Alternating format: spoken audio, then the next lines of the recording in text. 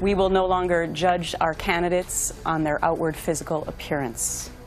That's huge. That's huge. And that means that we will no longer have a swimsuit competition.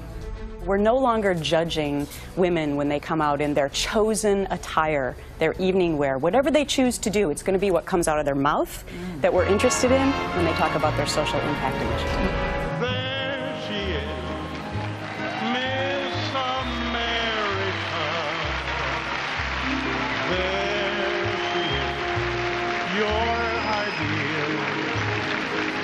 The dream of a million girls who are more than pretty can come true in Atlantic City, for she may turn out to be the queen of femininity.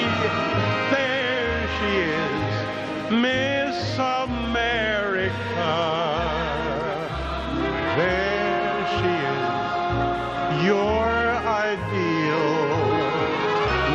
So many beauties, she took the town by storm with her.